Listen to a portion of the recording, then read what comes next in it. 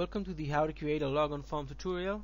We have here an empty Visual WebGui project with uh, a label on the uh, on the main form. We will start by adding a new form that will be our logon form. Let's call it logon and let's go to the code and we have to add a new using directive and it will be gizmox.webgui.forms.authentication and we have to inherit from the uh, logon form class. And let's go ahead and design our logon form. We will go and add two labels one for the username one for the password. And we'll add two text boxes one for the username and the other one for the uh, for the password. Let's align the controls.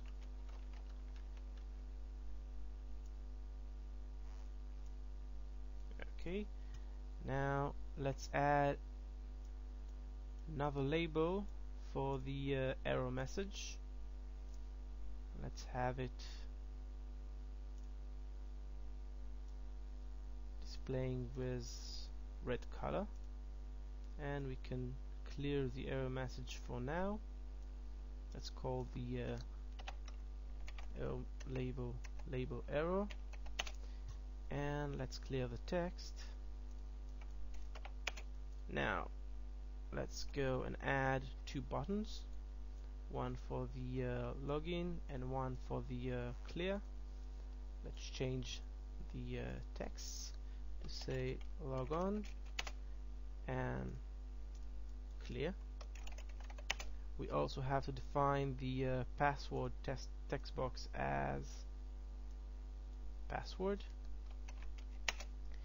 And let's change the uh, labels to say username and password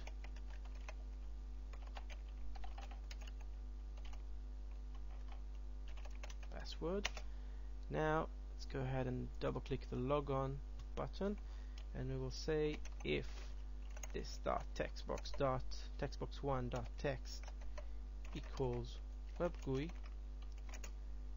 which will be the username and this dot textbox2 dot text equals webgui which will be the passwords then we will say this dot context dot session dot is logged on equals true.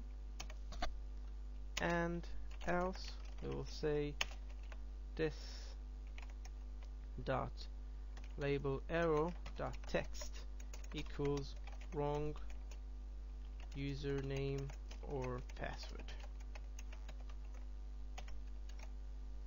Now we should have a uh, working logon form. Let's run the application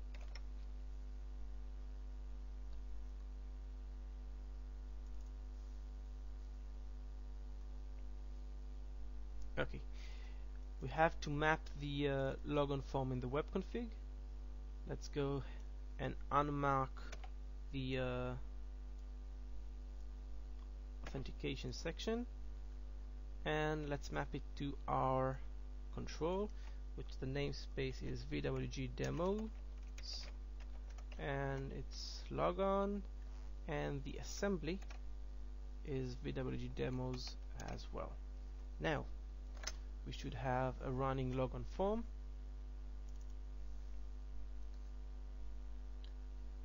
We have the logon form. Let's enter a wrong password and uh, username and password. We'll have the uh, wrong username or password message message. And let's enter webgui and webgui and we have entered into the application that's all for this tutorial. Thank you for watching.